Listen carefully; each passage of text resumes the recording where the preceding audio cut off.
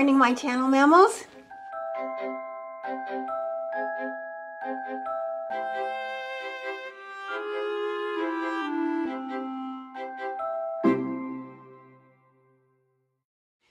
We're getting ready to make breakfast with the French French toast, the French bread French toast.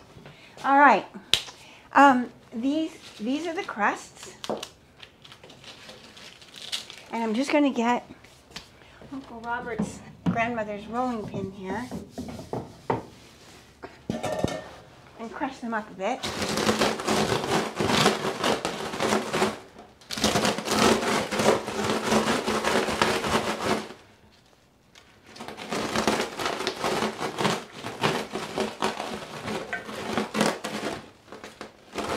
Build them into a heap. I, you know, you could put these in a blender, but I think it would make too much of a dust and not enough of, of little crunchy pieces. So I'd rather do it this way.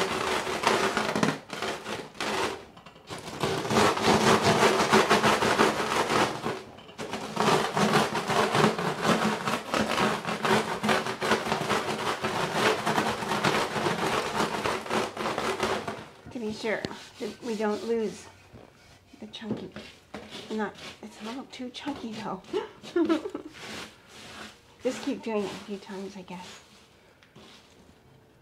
See, there are some pieces that, oh, they're not quite, that's why, they're not quite, some of them, see, are a little bit rubbery still, so they're not crunchy enough to crunch, to break.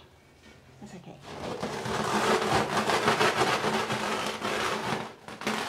I think this is good.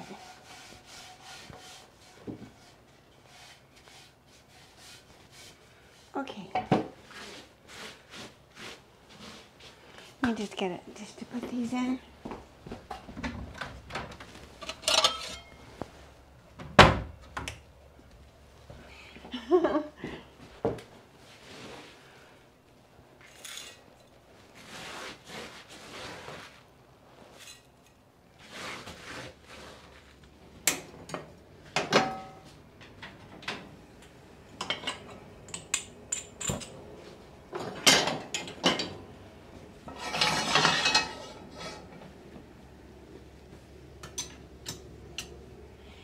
Now, um, I remember us just frying things in butter. We didn't use oil yet. I, I think that came in later, using oil to fry things in. We just fried everything in butter. But now people fry things in oil. So maybe we can do kind of a combination, like a stick of butter and a stick of oil. And that will answer everything. Let's hope. Let's see here. Here's some oil.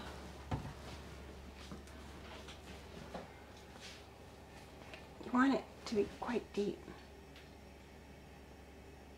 Is a big frying pan. I shouldn't have used I shouldn't have used such a big frying pan. Hmm. I think I'm gonna switch. Because it takes up so much more oil.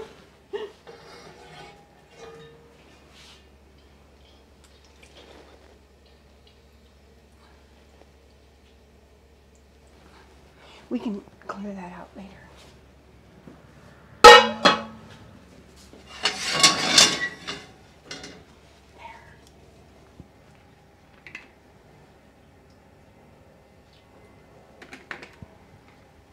Put some butter too.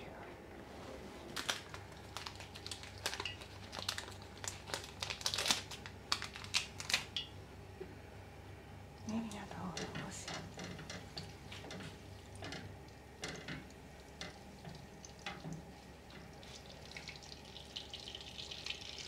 The Leaning Tower.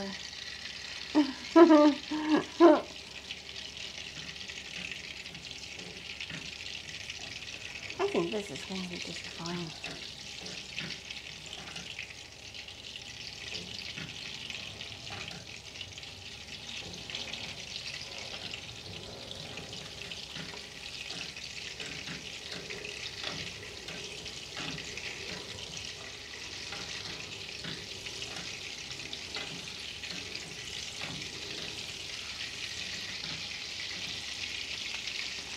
We can put more if we, we want to. Now I put some of these in here so that they could get started. Um, see, I have.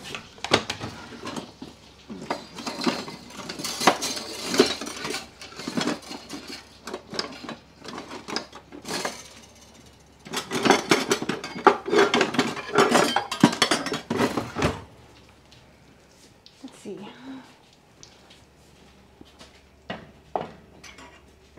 Oh, we have to dip them in the in here first. Let's see. I'll this stuff. Should be this way for an assembly line.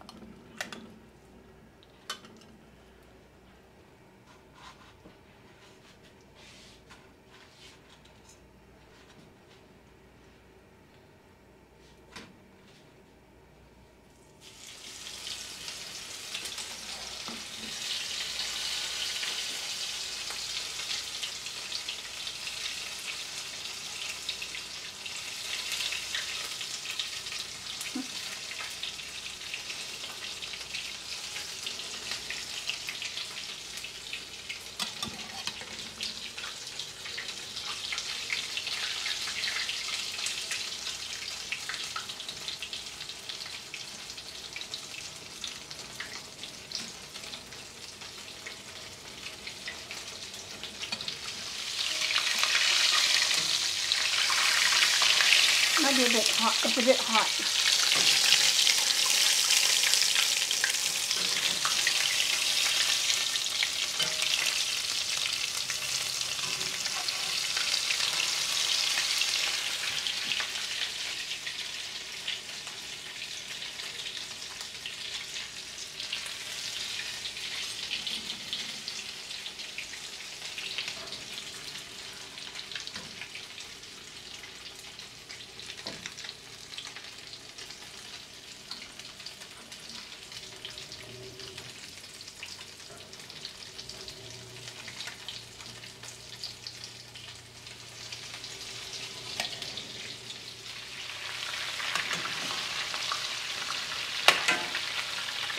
Wasn't quite ready. This guy's got to be really ready. I'm just gonna.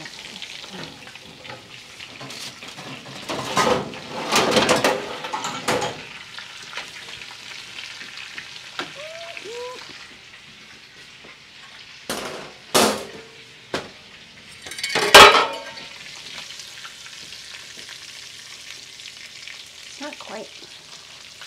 It slowed down because I turned it, turned it down. So you actually have to leave them a little bit longer.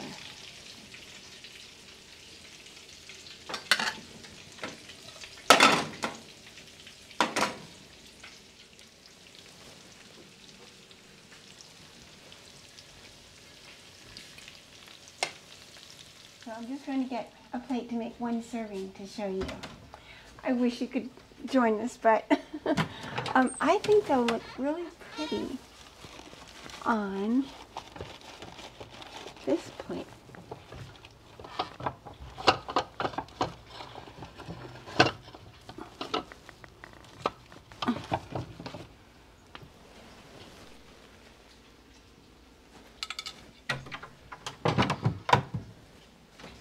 I think I've shown this to you before. Isn't it beautiful? And that's using up all the cut off pieces of decals that would have been lost if they didn't go on this. Here's the back.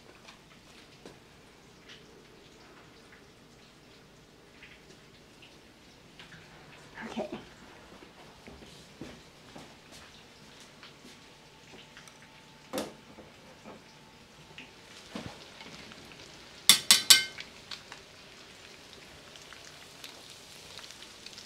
I'll just put it inside.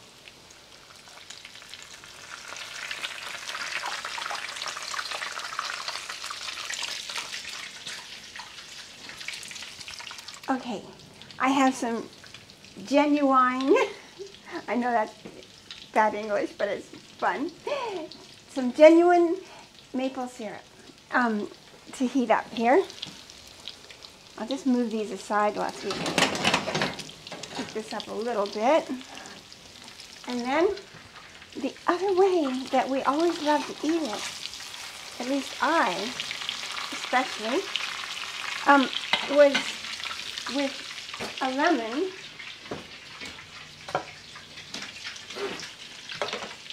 and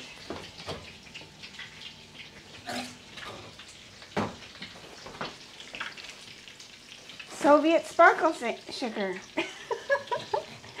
we get it at the Russian market. And it's more sparkly than our sugar. Uh, I've, I've shown this before. There's a lot of other things in here because I do the oranges and I don't know if you can really see. Anyway, it's bigger chunks and it's very sparkly and it's crunchy when you eat it. So,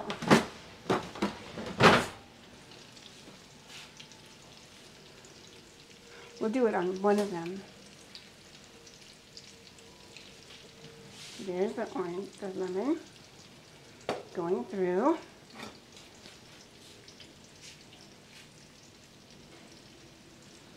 We'll see what we think of that. This is probably warm enough.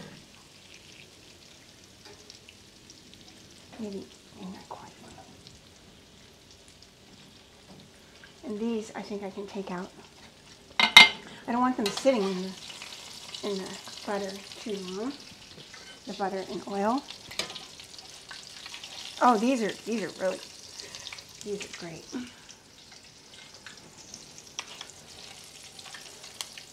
Oh, I so wish you could taste these. They're just so delicious. I mean, at least when I was little, when I was a girl, they I haven't had them for a long time. I'm just remembering. And in fact, oh, let's let's see if we can do this. Okay, here. This is the last one in. I think I should take this, set it And then here, here's some with the syrup.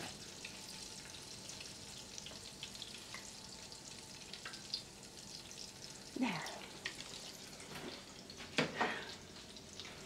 How? Oh, and another thing I always like to do, I don't know, I do this every, every time we, I always put um, the confectioner sugar on the top.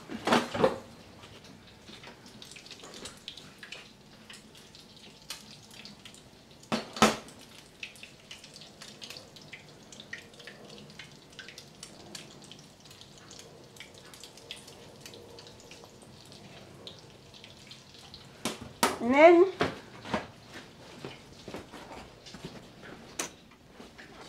I ring the bell.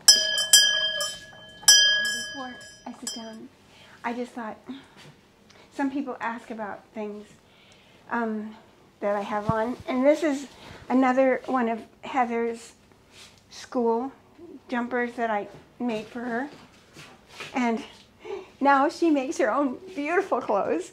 And these are just kind of, you know, ordinary. Um, but I just, I wear them. And it's kind of fun because they're getting another life.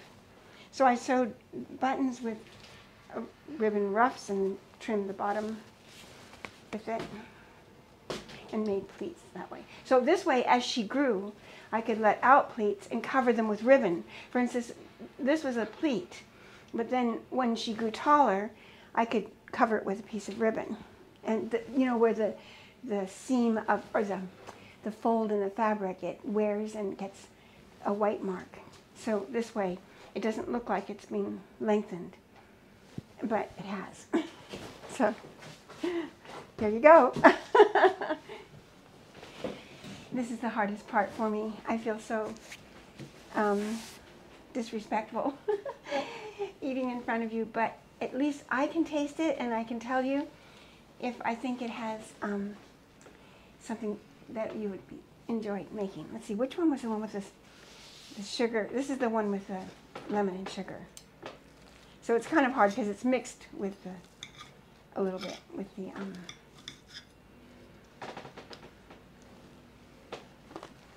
mm. Mm. If you had this,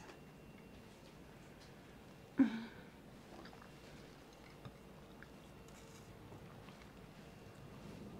at a, at a tea room or you would you would always go back there for more. Mm. The French bread inside is just so fluffy and puffy. It's almost like a, a souffle. Mm.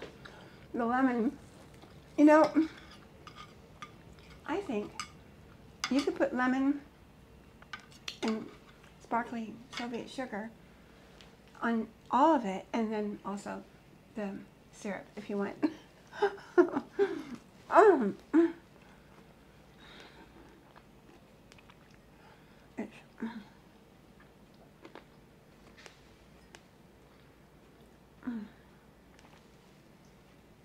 the inside is really like a custard. Uh, I'm, so grateful that, that you're here. As soon as my mouth isn't full, maybe we can read a little bit from the lesson to show our gratitude, shall we? Just a minute. Well, I moved my, my, my plate away, and we, we always read the lesson in the morning. So I thought you must wonder what that is. It's, um, it, it's different every, every uh, week, different subject. And um, so I just thought, and it's made into usually six, five to seven sections just whatever works out. So this one, I'll just read the first section. Um, it's from First Chronicles. Thine, O Lord, is the greatness and the power and the glory and the victory and the majesty. For all that is in the heaven and in the earth is thine.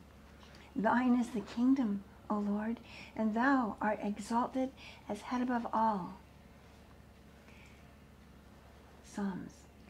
The counsel of the Lord standeth forever, the thoughts of his heart to all generations. The Lord openeth the eyes of the blind. The Lord raiseth them that are bowed down. The Lord loveth the righteous. The Lord preserveth the strangers. He relieveth the fatherless and widow. But the way of the wicked he turneth upside down. Isn't that great? Yep, that that's a good way to get uh, things solved. the Lord shall reign forever, even thy God, O Zion, unto all generations. Praise ye the Lord. And the Word was made, this is from John, first John. And the Word was made flesh and dwelt among us. And we beheld his glory, the glory as of the only begotten of the Father, full of grace and truth. The law was given by Moses but grace and truth came by Jesus Christ. And ye shall know the truth, and the truth shall make you free. Science and Health. The true understanding of God is spiritual. Um, divine science, the Word of God, saith to the darkness upon the face of error, God is all in all and the light of ever-present love illumines the universe. The scriptures are very sacred. Our aim must be to have them understood spiritually, for only by this understanding can truth be gained. It is this spiritual perception of Scripture which lifts humanity out of disease and death and inspires faith. The advent of Jesus of Nazareth marked the first century of the Christian era, but the Christ is without beginning of years or end of days. Throughout all generations, both before and after the Christian era, the Christ, as the spiritual idea, the reflection of God, has come with some measure of power and grace to all prepared to receive Christ. Truth. Abraham, Jacob, Moses, and the prophets caught glorious glimpses of the Messiah or Christ which baptized these seers in the divine nature, the essence of love, the divine image, idea, or Christ, was, is, and ever will be inseparable from the divine principle, God. So that was the first section. okay, my channel mammals. I'm so glad we, I wish we, you could have had breakfast with us, but um, at least you can do it yourself. And uh, I, I had a, a couple of comments to myself afterwards. I think I should have added a little bit more milk uh, because that helps to break through the, um, the particles of the bread even more. Um, I would have, instead of adding another egg or anything else, just a little bit more milk to loosen it up a little bit more. And that would have made the inside even more custard-like. So I think it was delicious and it was just creamy and lovely. But I just think a little bit more would have helped.